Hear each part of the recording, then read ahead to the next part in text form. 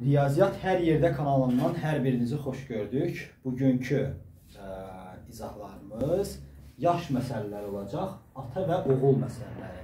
Yəni bu tiplərə aid bəzi xırdalıqları, ə, müddəaların hər birini ə, sizlər üçün deyəcəm. Videonu diqqətlə axıra kimi izləyin. Kanalıma abunə olmayanlar abunə olub mənə dəstək ola bilərsiniz. Öncədən təşəkkür edirəm. Deməli, yaş məsələləri, ata-oğul məsələləri bilirik ki, testlərin, imtahan suallarının e, öndə gedən məsələlərindəndir. Boru məsələləri olsun, hovuz məsələləri olsun, yaş məsələləri olsun. Bunlar e, belə deyim, bir növ şagirdlərin bir az çətinlik çəkdiyi, bir az qarışdırdığı yerlərdir. Mən hovuz, boru, briqada məsələlərini əvvəlki video izahlarımda vermişəm, oradan baxa bilərsiniz. Bu gün isə yaş məsələlərindən bütün xırdalıqları, müddəaları deyəcəm. Cədvəl üsulu və həlli bunların ən rahat üsullarla həllini deyəcəm sizə. Videonu diqqətlə izləyin əziz şagirdlər. Deməli mənim əziz 6-cı siniflərimlə bir yerdə bu gün bu ə, belə deyim izahları verəcəyik. Elə deyil Fərid? Bəli. Deməli, yaş məsələlərindən ən gözəli misallar üzərində, məsələlər üzərində izahdır. Müəyyən tip məsələlər var. İndi onları mən sizə izahlı hər detalına kimi diqqətlə izləyin deyəcəm. Zəhra, başlayaq ver bizə misallardan. Oğlun 20 yaşı var ki, bu da atanın yaşının 3də 1 hissəsidir. Atanın neçə yaşı var? Baxın, belə olanda sadə məsələdir. Amma belə deyim, bir cədvəl formasında bunu çəkək. Biraz da sərgəl edək. Cədvəl formasında bunu çəkək. Bura oğul olsun. Burada olsun ata. İndi bizə deyir ki, oğlun necə idi? 20 yaşı var. Oğlun 20 yaşı var. Baxın veribdir. 20 yaşı var. Artıq görürük. Aha. Bu da atanın yaşının 3də 1 hissəsidir. Bəli. Bax bu 20, bax bu 20 atanın yaşının, atanın bir x yaşı var. Bunun 3də 1-i atanın yaşının 3də 1-i neçədir deyir? 20. Yəni atanın yaşının 3-dən 1-i neçədir? oğlun yaşıdır. Yəni 20-dir. Baxın, bu məsələ biraz qarışıq da ola bilərdi. İndi sadədir, sadə də olsa cədvəl formasında göstərərəm. Bir də deyirəm, baxın, oğlun 20 yaşı vardı. Bu da atanın, baxın, atanın yaşının, bu atanın x yaşının 3-dən 1 hissəsidir. Cavabımız da eləməlidir 20. Buradan x-i necə tapırıq? 20-ni bölürük 3-də 1-ə. 20-ni 3-də 1-ə də böləndə Demişdik ki, birinci olduğu kim qalır? İkincini tərsinə çevirib vururuq. 1-də 3. Cavabımız edir 60, 60-ı da 1-ə böləndə 60. Və salam. Bu bir tip misalımızdır. Aha, Zəhra, bizim digər misalımızdan baxıyoruz. Aha, başqa, gör başqa hansı tip var? Ananın yaşının qızının yaşına nisbəti 8-də 3 kimidir. Yəni 8 bölü 3. Aha, yenə də çəkirik, cədvəli yenə də çəkirik. Yazırıq bunu. Ana, bir də qızı. Bax, bunu unutmayın. Bunu yazırıq ki, bizə rahat olsun. Yəni, nəzərimizdən heç nə qaçmasın. qaçmasın. Necə oldu? Ee, ananın yaşının qızın yaşına nisbəti 8 bölü 3 kimidir. Bəli, ananın yaşının qızının yaşına nisbəti 8-in 3-ədir. İndi biz bu 8-in 3-əni bilirik. Amma ə, məsəl üçün 80-ın 30-adımı yaşlarının nisbəti ona ixtisar eləyək. Yəni nə demək istəyirəm? Bəlkə bunlar 80-ın 30-adır, ixtisar gedib 8-də 3 olubdu. Bəlkə ə, belə deyim, məsəl üçün hər hansı bir başqa bir ədəddir, ixtisar gedib 8-də 3 alıb. Bəlkə 5-ə vursaq 40-ın 15-ədir bəlkə. Ananın 40 yaşı var, qızın 15 yaşı var. 3 ixtisar edib 8-də 3 alıblar. Biz bunu bilmədiyimiz üçün yanına bir x yazırıq. 8x-in 3x-ə nisbətidir. Sonra və, və onlar yaşlarının cəmi 55 olarsa ananın yaşını tapın. Baxın fikir verin. İndi bu ikisinin yaşları cəmi, baxın cəmlədim, deyir ki 55-dir. Buradan elədi. 11-i qız bərabərdir 55-ə. X da buradan 55-i 11-ə böləndə etdi 5. Deməli bu bizim ixtisar elədiyimiz ədəd əslində nə imiş? 5-ə ixtisar gedibmiş. Yəni 8-i vurduq burada. Hər zaman burada vurma işarəsi olur. 8-i 5-ə vurdum. 40 yaş oldu ana. 5-i də 3-ə vurdum. 15 yaşda oldu nə? Qızı. Bizdən nə soruşurdu? E, ananın yaşını. Ananın yaşı da oldu 40 yaş. Bax bu digərdir. Fikir verin, cədvəl formasında yazanda misal özü özlüyündən çıxır. Oldu Nihat? Bax cədvəl formasında mütləq yazırıq. Növbəti.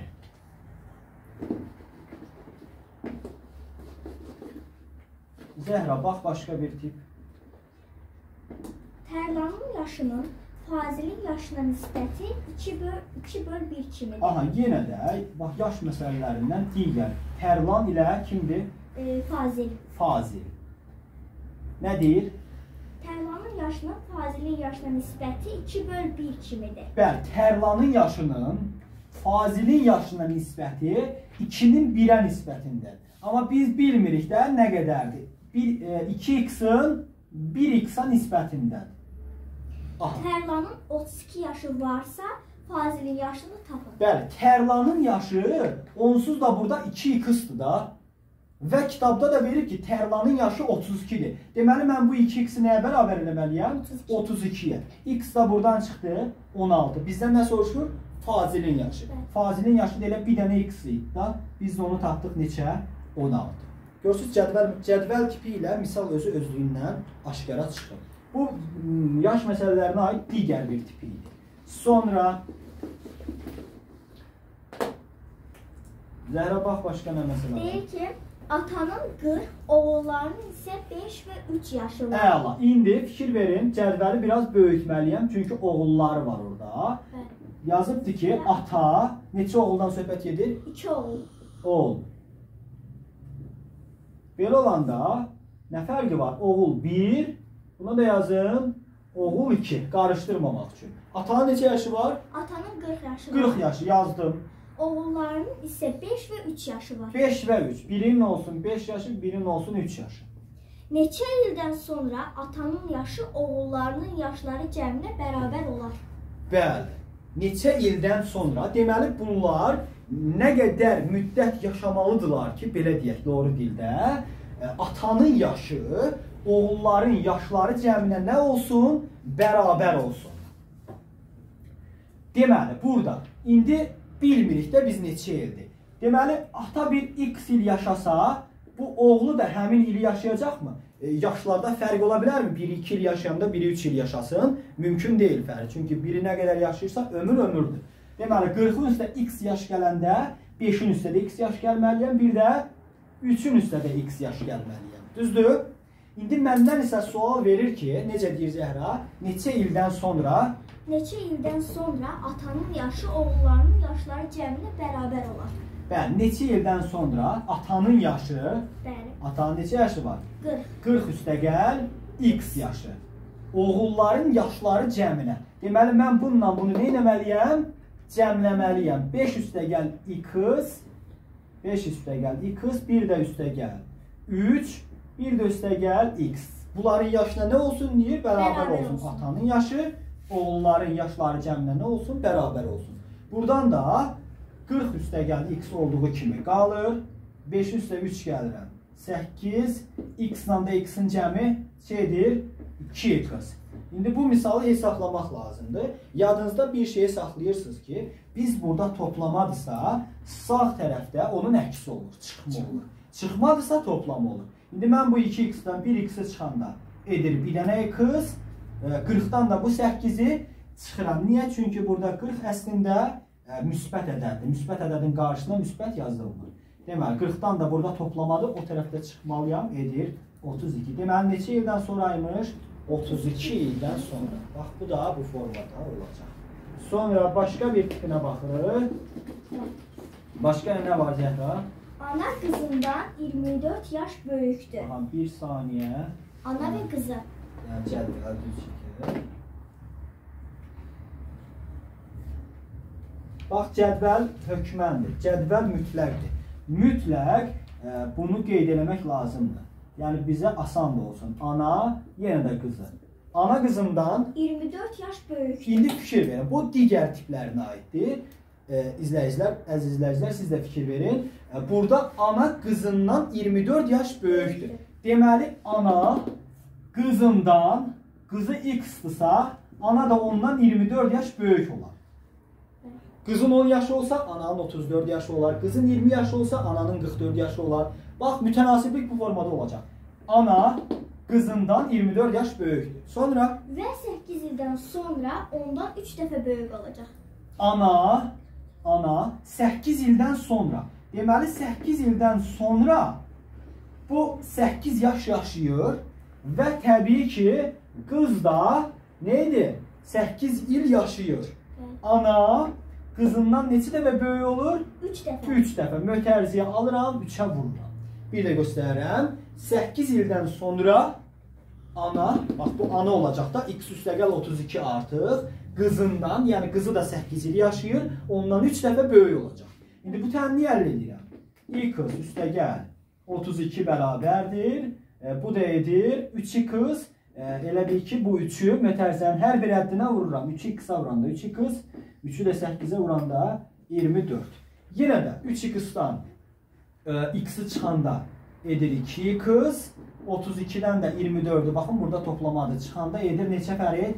8. Bu təminin də həlli edir cavab 4. Bizdən nə soruşur axırda? indi ana neçə yaşı var? İndi ananın neçə yaşı var? 4-ün üstə də 24 gəlirəm. Neçə yaşı var? 28. 28. Deməli əvvəl ananın 28, qızın da 4 yaşı varmış. Həqiqətən də 4 24 24 yaş fərqləri varmış arada. Başqa qaldı deyirəm. Bəli. Aha, hansı tipidir baxaq bəlkə. Ana və 2 qızı. Olsun ana və iki qızı bircə saniyə.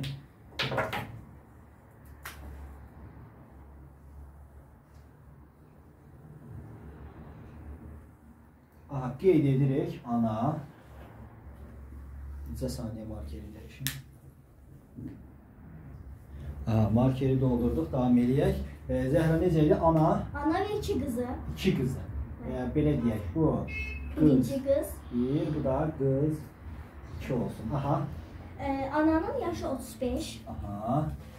qızların isə 2 və 5-dir. 2 və 5-dir. Neçə ildən sonra ə, ananın yaşı qızlarının yaşlarının cəmindən 2 dəfə böyük olacaq. Aha, indi digər e, əvvəl yazdığımızdan fərqlisidir bu. İndi deyir ki, neçə ildən sonra? Biz bilirikmi neçə ildən sonra? Xeyr. Bir x ildən sonra bu x yaşadısa, Bu da x yaşamalıdır. Elə həmçinin hər kəs yaşayır da, birimiz 1 il yaşayanda digərimiz də 1 il yaşayır. Yəni ömür eynidir. İndi neçə ildən sonra, bax bu x ildən sonra ananın yaşının cəmi, ay ananın yaşı, ananın yaşı necə? Qızlarının yaşlarının cəmindən qızlarının yaşları cəmindən 2 dəfə böyük 2 olacaq. dəfə böyük olacaq. Vururam 2-yə. Baxın, bu bu bir qızının yaşı idi, bu da digər qızının yaşı idi. Yaşlarının cəmindən 2 dəfə böyük olacaq. Bu da edir bizdə tənlikdir. Hesablayırıq. 35 üstə gəl x bərabərdir. 2 üstə 5 gəldi. 7, 2 misli 14. x üstə x gəldi. 2x, 2 misli 4x. Dedik ki 4x-dan 1x-i çıxırıq. 3x 20 35-dən də 14-ə çıxırıq 21. Buradan da x bərabərdir 21 3-ə böləndə 7. Deməli neçə ildən sonra imiş? 7 ildən sonra imiş. Yəni gördüyünüz kimi cədvəl üstü zəhrə qaldı. Gördüyünüz kimi əziz izləyicilər, e, cədvəl üsulu ilə yaş məsələlərinin cədvəl üsulu ilə üstünlüyü böyükdür. Cədvəl əgər çəksəz, anadır, qızdır, toğruldur, əlidir, vəlidir yazsaz, məsələ sizə özü aydın olacaq. Tək orada mə- lazım olan iş, məsəl üçün biri x yaşadısa, digərini də o qədər yaşamalıdır. Bax buna diqqət edirik. Bu məqamlara diqqət edirik. Cədvəl üsulu ilə bütün yaş məsələlərini asanlıqla yaza biləcəksiniz. Bu sadə tipləridir. İnşallah bunun biraz ağır tiplərini müəllimlərin işə qəbulu, sertifikasiyası üçün düşən tipləri var. Onların izahlarını başqa videoda verəcəm. Bu aşağı siniflər üçündür. 7, 8, 9, e, biraz 10-cu siniflər üçündür. Müəllimlərin işə qəbulu və sertifikasiyası üçün e, video izahlarım olacaq. Onlarda dərin izahlarını verəcəm. Hər birinizə qulaq arzulayıram. Sağ olun.